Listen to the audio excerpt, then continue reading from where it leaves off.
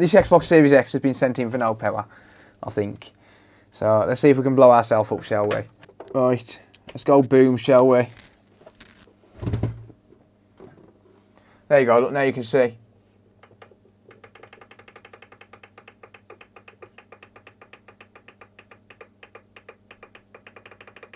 That's an ugly cam and a half. Yeah, you know it. Anyway, uh, yeah, so this ain't working. It ain't powering on at all. Alright.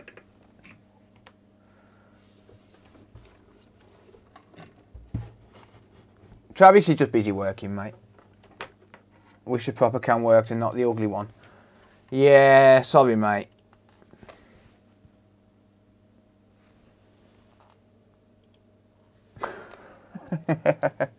I miss the singing. No, you don't. you liar. You're such a liar.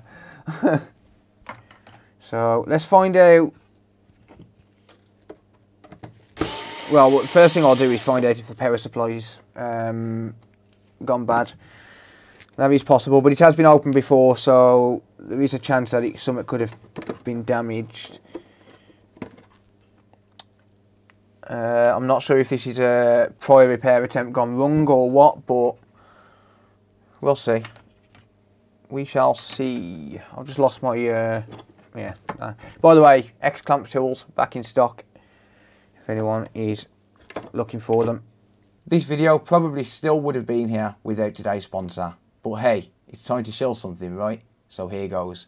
Here at the Cod3r Productions, we love nothing more than to take as much money from you, the viewer, as we possibly can which is why we're proud to talk to you about ConsoleFix.shop, a great place for you to spend your hard-earned cash. I mean, yeah, fair enough, you get parts and supplies that help you fix things, but you've got to give me some money in return. Nothing in life's free, and if you pay me for it, you might appreciate it more. Or not, hey, I'm not judging. With that being said, we do have some pretty cool stuff on the shelves, including power supplies, HDMI ports, charging chips, MOSFETs, and whatever else you can think of that'll give you the illusion that you're getting a good deal. So head on over to the online store by clicking on the link in the video description and if there's one thing I can guarantee is that there will be a way for me to take your money. Console Fix, your friendly money grabbing YouTuber. First thing I'll do is try another Nexus board. That's going to be the most, well the easiest thing to do I guess, is to try another Nexus board. So if I can find one, then I'll try one. Right, here's one.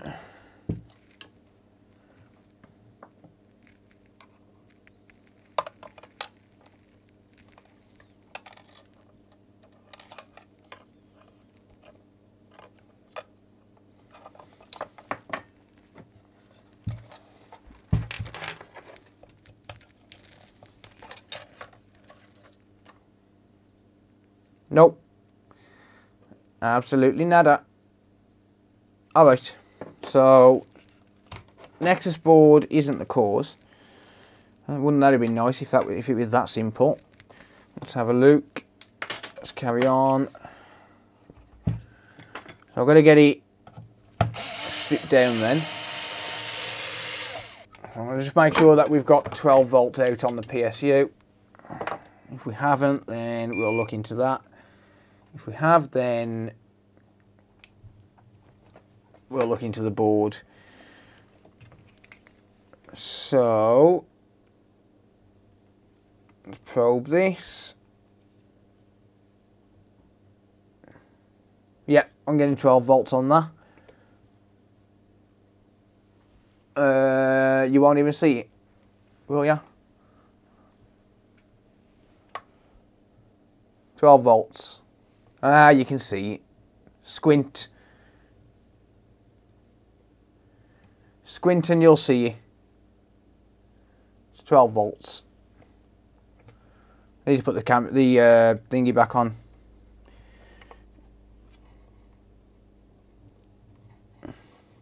Make sure I'm getting 12 volts on this one. Yeah. Okay, so the power supply appears to be working. Let's just check in continuity mode for a short to ground on the 12 volt. See if we're getting that. No short on that one. No short on that one apparently either. Interesting. Alright, well, I know we're good in terms of 12 volt.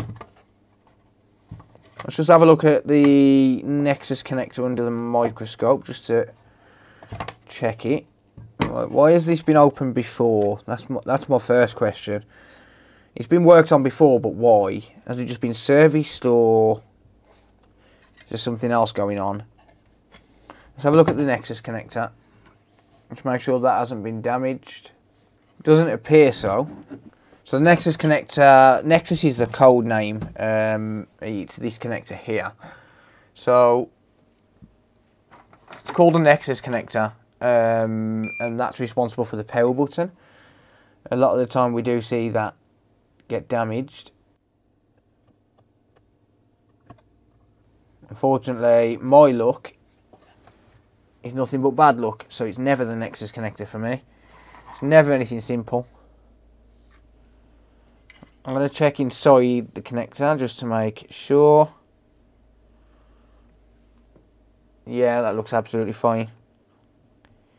No problems there. Okay, so let's isolate what board it is then. One camera, that's the one. Uh, let's isolate what board it is. Let's switch one of the Southbridge boards. Or rather, let's switch the Southbridge board and see if it attempts to power on.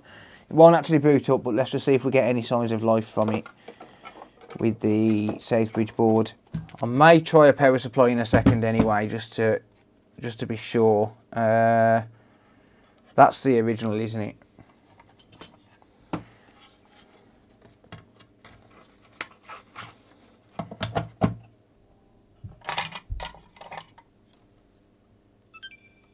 Yeah.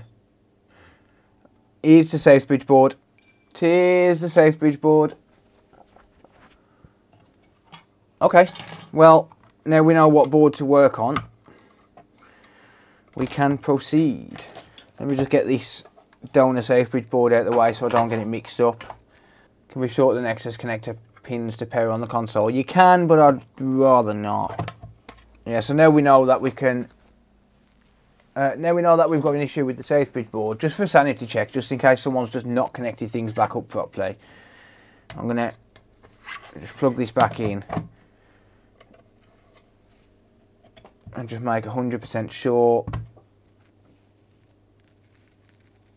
that it doesn't pair on with this Nexus board.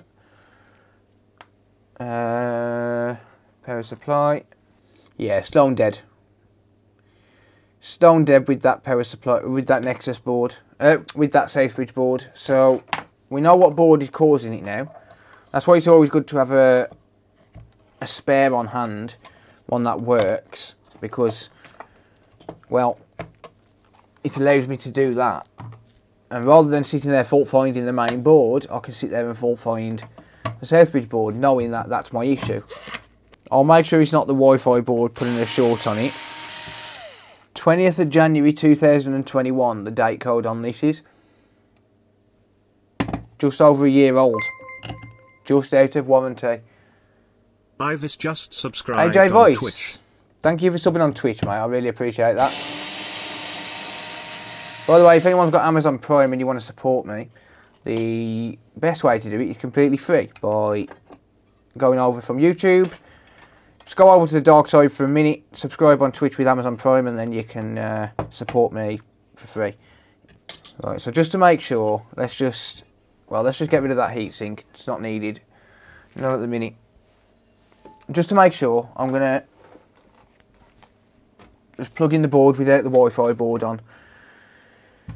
Or Wi-Fi, Bluetooth, whatever it is. Um, I'm just going to make 100% sure because it could be causing an issue. So I want to be 100% sure before I carry on. Now I've got to try and do a balancing act because I haven't got the heat sinking. I don't want to short the boards out, obviously. Nope, it's not that board. So this is all just about, like the first first few stages is all just about isolating where your short is, or where your fault is. So obviously we've got an issue, but it's just about isolating where the fault is. Like swapping boards backwards and forwards and just trying to figure out Um, is it the APU board or is it the Southbridge board? If it's the Southbridge board, is it the Wi-Fi board that's connected to it? Blah, blah, blah. Eventually, you get to just Spannerfix just resubscribed for three and months. work on one three board. months. Time flies. So we know the rest is appearing fine um, because we're getting a beep on beep off with the non-working Southbridge board. So now we'll look into this one, see if we can find anything on this. Uh, actually, let's check these ports quickly. Nope, they appear fine. Cool. Uh, Spanifix, thank you, buddy. Really appreciate that, mate. Liquid metal's not user friendly. Yeah, it's definitely not. It's definitely more for enthusiasts. Okay, someone's already worked on this board.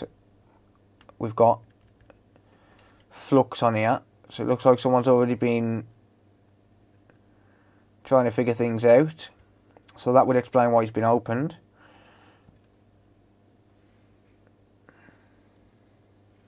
So I don't think we've got a short on the 12 volt board. Let's just double check 100%. Or rather, we haven't got a a direct short on the 12 volt. No. So let's just run through some test points. Might as well start with this one here. Yeah, so 3.3 FTDI, that's working. Or rather, that's uh, not showing up as short, should I say.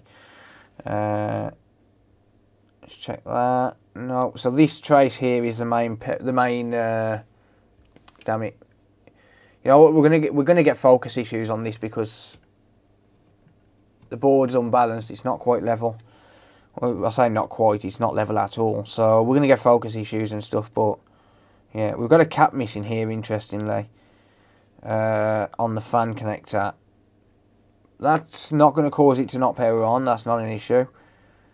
Let's check the 12 volt gated. So I'm just in continuity mode looking for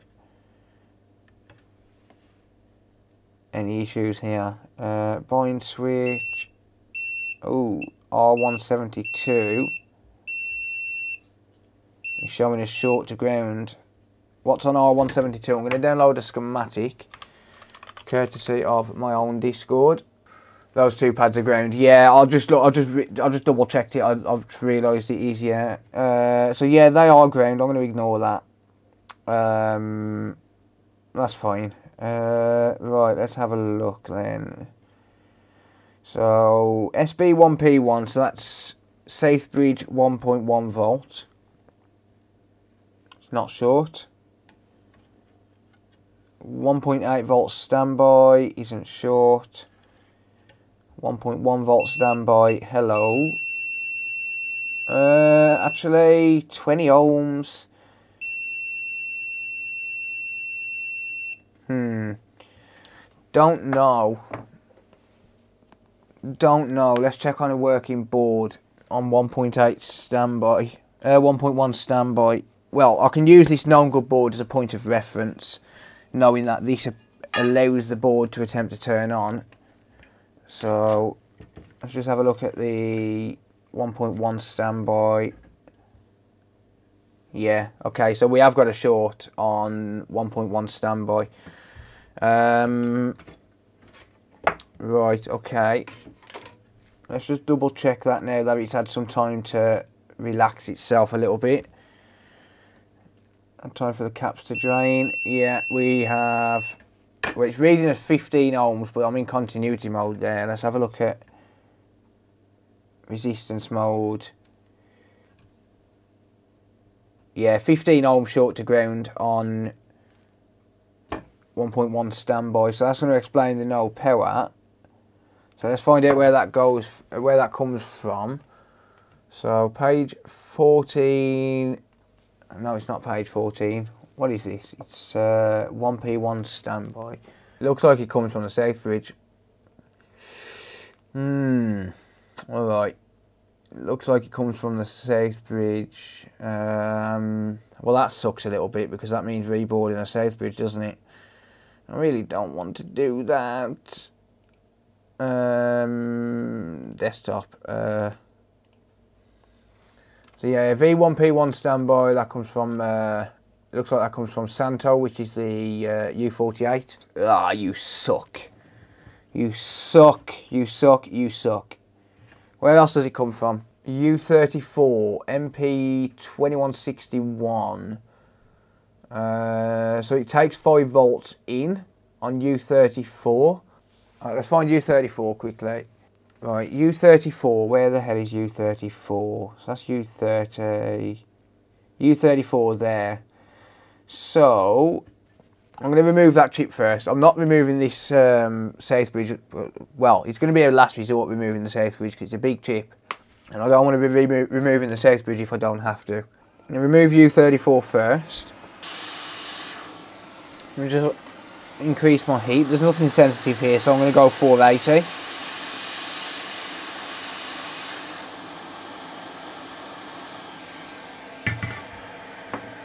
Let's have a look at the resistance again. Still 16 ohms. So where does that go from there? Uh, let me just drop this chip back on. So I saw someone the other day removing a load of chips uh, to try and isolate a short, kind of like what I'm doing here.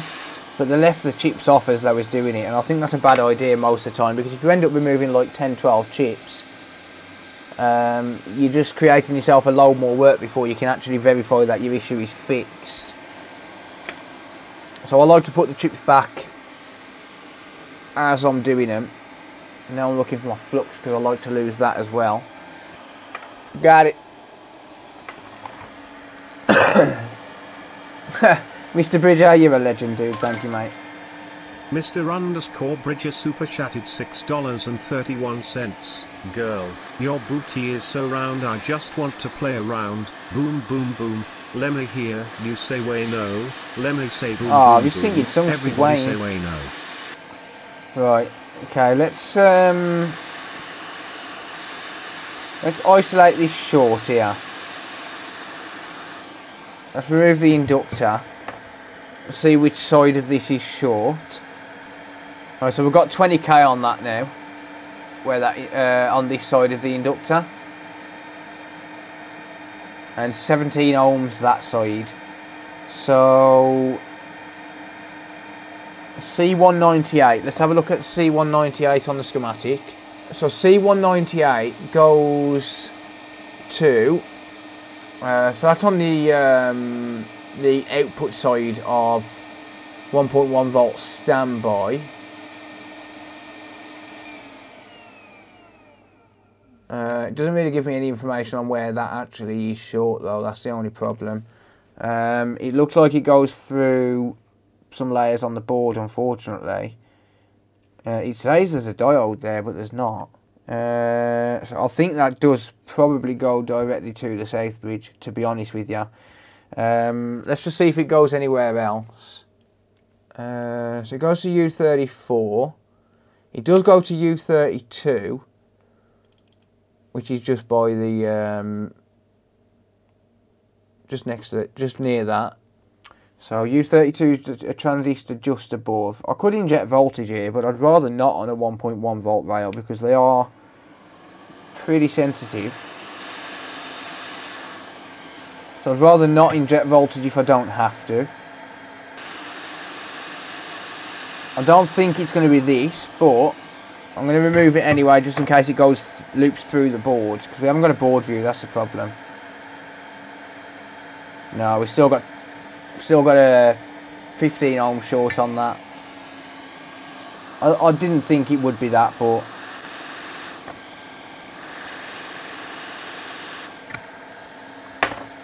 yeah. So no such luck.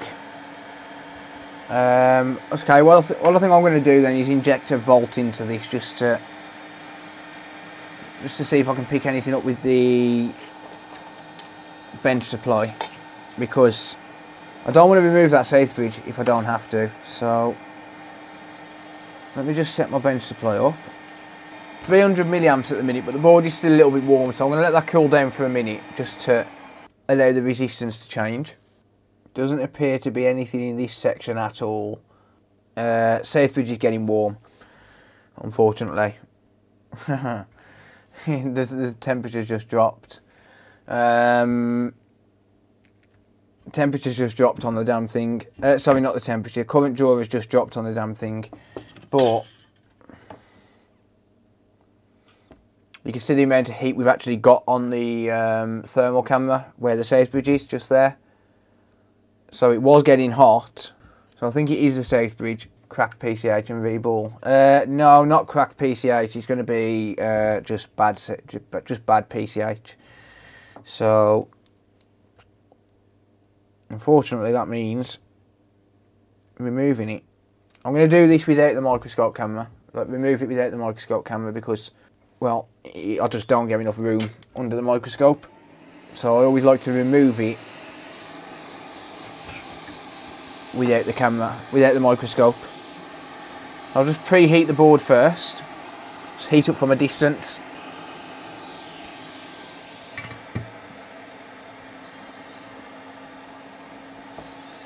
There we go.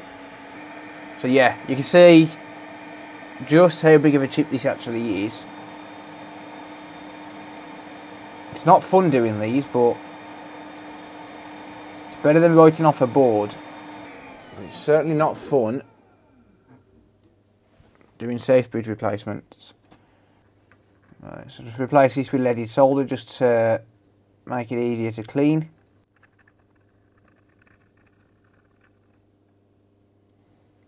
Very carefully get that blob of solder off, otherwise we're just wasting wick. I'm going to change tips to a brand new tip that I've just bought. Yay! Got my spatula tip. Right, so I'm just going to grab some wick.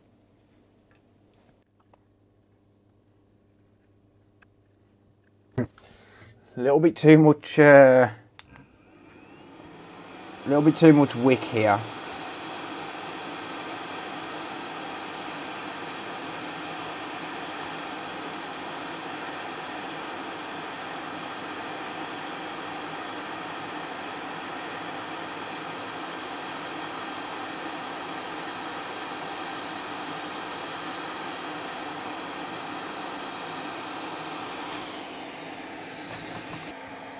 Little bit too much wick there then.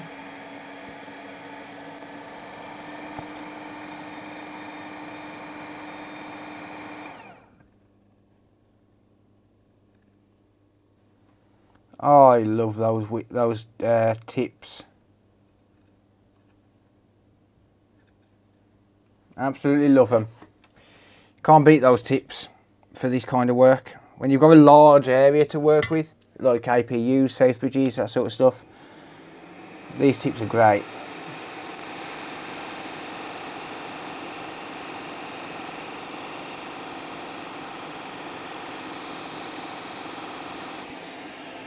I mean, they do cost, I mean, these are T12 chip, uh, tips, and they do still cost like 13, 14 pound each.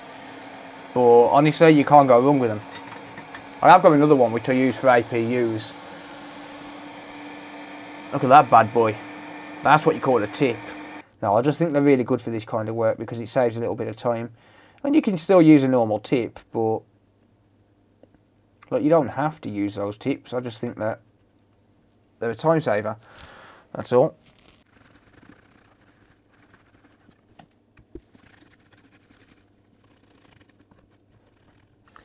There we go. Beautiful. Board's nice and clean. Right, so now I need to just basically fix a few of these pads up because unfortunately when you're wicking away a large area you are pretty much guaranteed to tear, well not tear but to uh, expose a couple of traces like this look. So you see you get like kind of a tadpole effect on these. Now the problem with that, obviously the traces are still intact and stuff, but the problem with the, the getting the tadpole effect is it's just somewhere for the solder to be able to run off to, which means that on some solder balls you're going to get solder run off, which means the solder ball itself is going to be smaller because it's going to seep. So you just got to go around and anywhere where you get this exposed trace, where you get like this tadpole effect, just need to cover it with a little bit of conformal coating just to make sure that it's not going to allow solder to run off. Jamie Lowe's became Jamie, thank you, mate. I really appreciate that, mate. Thanks for the support. Thank you, buddy. You can see one on the top side too. Uh, I'll have another look in a minute, buddy. Yeah, just cure these. Uh, one thing I do need to do though is just get rid of this excess mask. Just like that. And there's also a little bit of excess mask here. That needs to go. There we go. Second row, top middle. You are 100% correct. You are 100% correct. Appreciate that, mate. Thank you. Mucho gracias. See, that's a good thing about doing these live. Thank you very much. Let's just cure that quickly.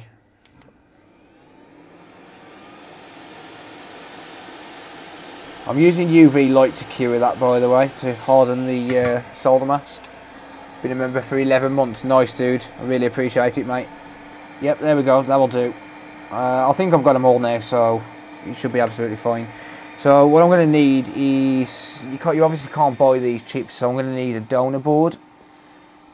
And one thing I can confirm to you all is we can take the we can take the Southbridge off a Series S.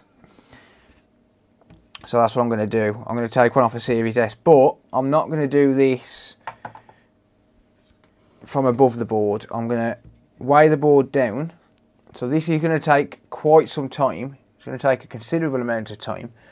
But what I'm going to do is I'm going to weigh the board down, hang it over the edge of the table, and I'm going to remove the chip from underneath because I don't want to damage it with heat. So whenever I'm removing a chip to either reball for resale or if I'm removing it for uh, reballing to reuse for myself, whenever I can, I like to remove it by heating up from underneath. So yes, it does take a lot longer, but at the same time, it means not putting any direct heat on the chip itself. And that allows me to make 100% sure that I'm not going to damage the chip during the removal process. So yeah, takes longer, but doesn't really matter. You know, what's an extra three minutes, four minutes to save risking damaging like a 50 pound chip? Because these chips ain't cheap.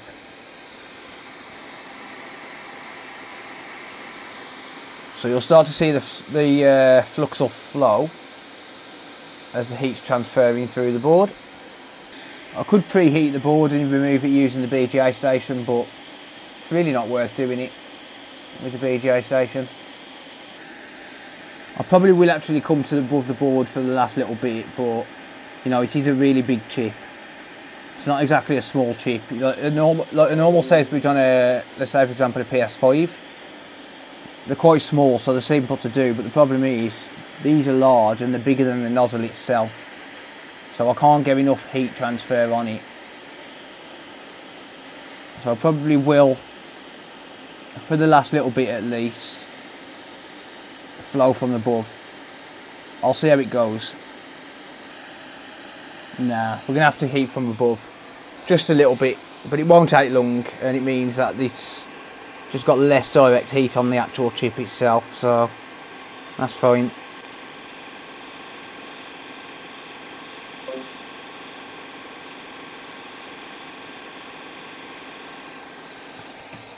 There we go. Yeah, by the way, the Southbridge for the Series S and Series X, exactly the same chip.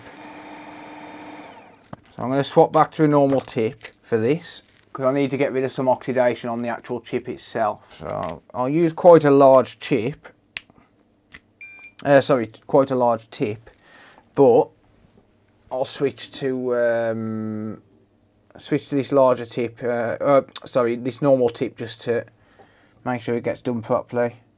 So obviously when you remove the chip you end up with a little bit of oxidation on the chip, on the pads. So you go, You've got to use the right tip to be able to scrape the pads a little bit.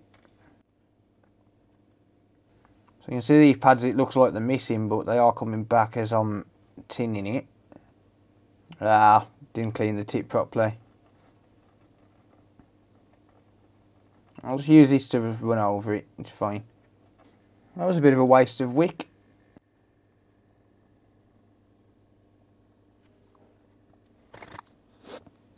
I think it's time to order some more flux. That's a little bit too smoky for my liking. Um, this could be a sign that the flux is starting to go off. Uh, I've had it for quite a while. But there's letting off a little bit too much smoke. It could be a sign that the flux is going bad. Right. Ignore those marks, that's just where the soldering iron's been. It's absolutely fine. Looks like we've got all the pads. Um, and I would say that that is good for reballing. Yeah, I think we're good there.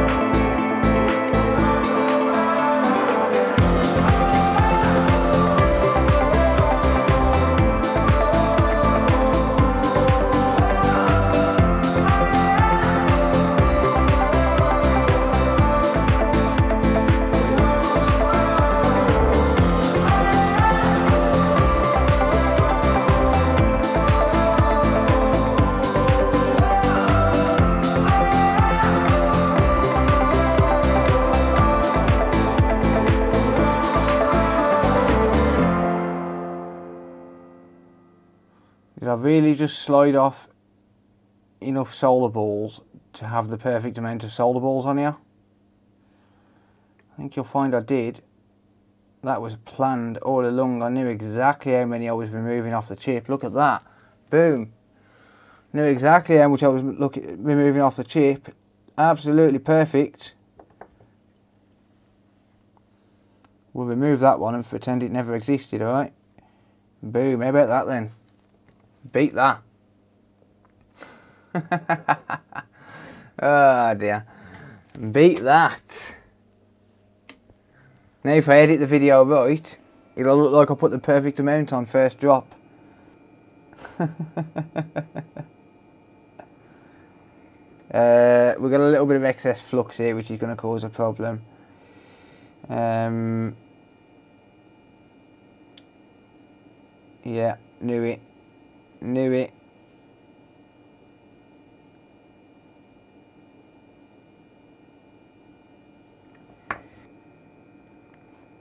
That would have dragged a load of solder balls along with it as it started to move around the chip. So I'm set at 480 degrees Celsius at 1% airflow for these. Just while I flow these solder balls in with no nozzle on.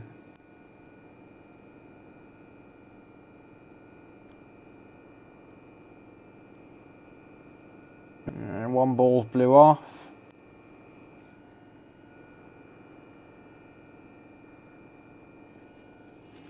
Going to fix these up before I apply some more flux. Another balls blew off.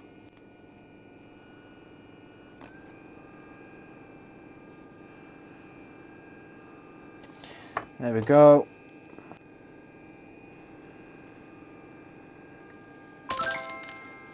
Spanner became a member. Chaos underscore King became a member. CGX became a member.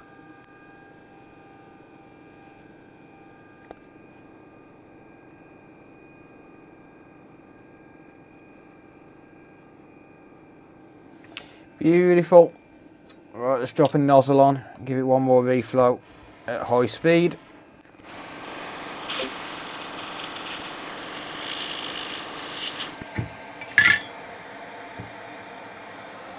There you go. Right, I'm going to let that chip cool down for a minute.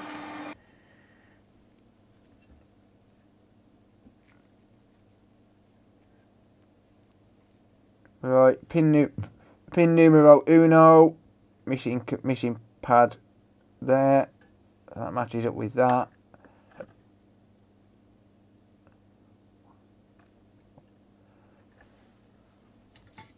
I should really have checked the resistance on this first, but oh well. Uh, one thing I need to do with this is just hold the chip there because the, the chip's on a little bit, the board's on a little bit of an angle. And if it's going to slide anywhere, it's going to slide to the right.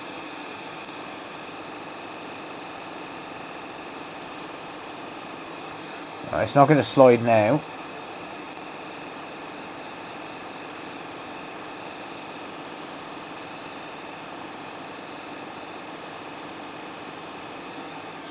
Good.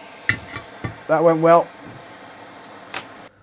I've been working on this device for, for too damn long. Let's see if this fixes it. So let's go back to 1.1 standby. Let's have a look what my resistance is on that now. Now that the board's cooled down a bit. 5,000 ohms, boom. 5,000 ohms on 1.1 standby. That's a good reading. Perfect. So let's just clean that up. I'm going to warm this up just to warm this flux up. I just want to clean the board up now. Let's fire her up indeed. Yeah, so I'll just I'll just like to clean up my own my own mess. But yeah, that's a perfect reading. Uh, 5,000 ohms and the bulb is still warm so it's obviously resistance is going to be a little bit different to what it should be but that is a good reading let's see if it boots Mr. Plastic clip for the PSU cable. Yeah, I'll um, I'll, I'll redo it in a minute. I knew that. I was just seeing how many of you guys noticed.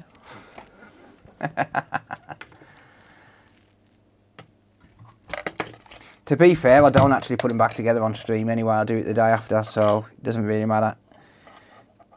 Putting them back together is boring. I like to uh, straight to the point, get the fixes done, and put them back together in my own time. Moment of truth, is it going to work?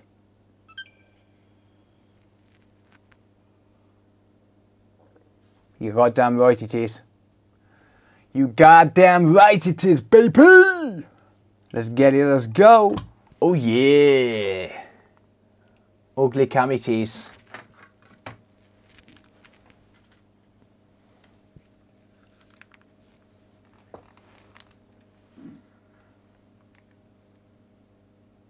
Boom. Boom. Job done. Ugly cam. Ah! Might be ugly, but we got the win. yeah, that'll do me. Happy days. One more console back on the road. Nice. Nice.